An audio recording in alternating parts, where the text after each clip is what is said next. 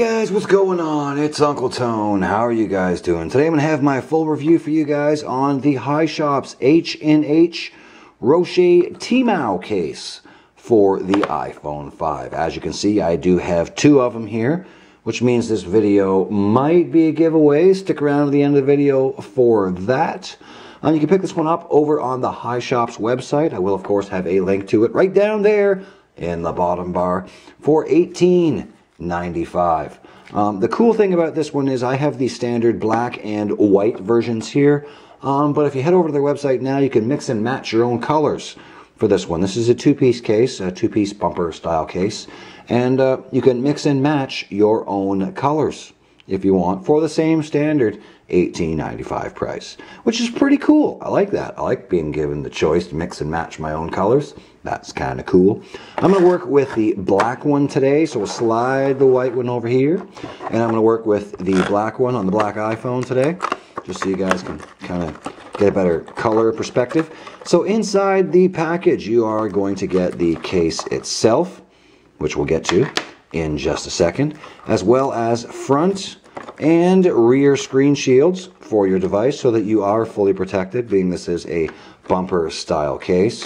Um, you're going to get front and rear screen shields included as well. They are the crystal clear variety. So there you go. You're also going to get a little squeegee and a little microfiber cloth for installing your screen shields. Pretty darn cool. So we'll move those over here. And that's everything that's included in the package. Awesome that they include the screen shields. I like that quite a bit. Simply take the cardboard insert out here. And here we have the case itself. Uh, this is very similar to the Roche Timao case for the iPhone 4 and 4S, uh, simply made to fit the iPhone 5. I did forget to mention that you do get a couple of little felt clip kind of things. They're meant to be used with, um, where are they?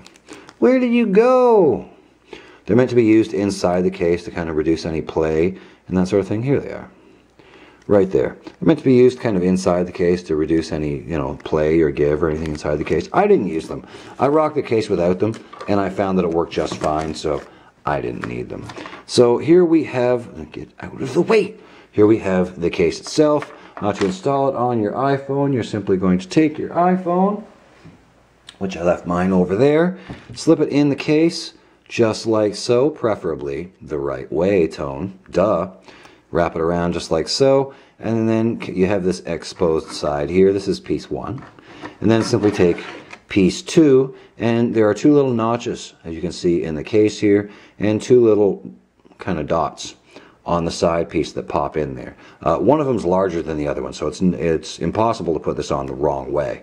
Uh, so simply pop that one in here in the top, lift this one up and over, and simply squeeze it together until you hear it pop into place.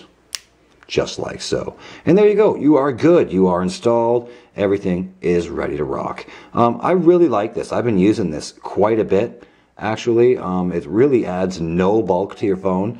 Uh, provides you with a little bit of lay on the table design in both the front and back of the phone. In combination with the front and rear screen shields you get great protection. Um, your device is completely covered.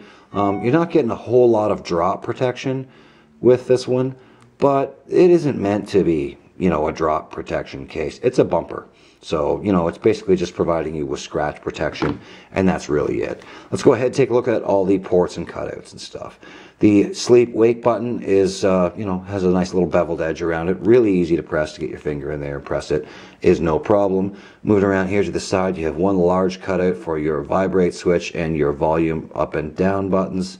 Also really easy to press because, you know, they're naked. So there you go. Easy to get to. No problem. Moving down here to the bottom, you have three separate cutouts for your headphone jack, microphone, speaker, and lightning dock.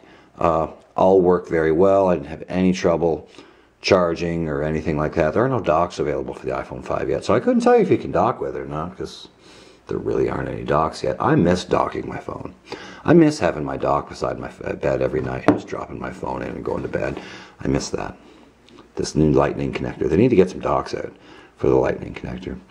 There you go. So that's pretty much going to do it, guys, for my review on the H&H Roche Timao case from the very cool people over at the HiShop. Thanks very much for sending this one over to them, me for review. I really do appreciate it.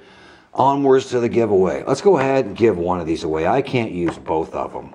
So uh, leave me a comment down in the comment box below. All you got to let me know is what color do you want? Do you want the white or do you want the black one? Just let me know in the comment box down below. That's all you have to do. Be subscribed. Let me know which color you want.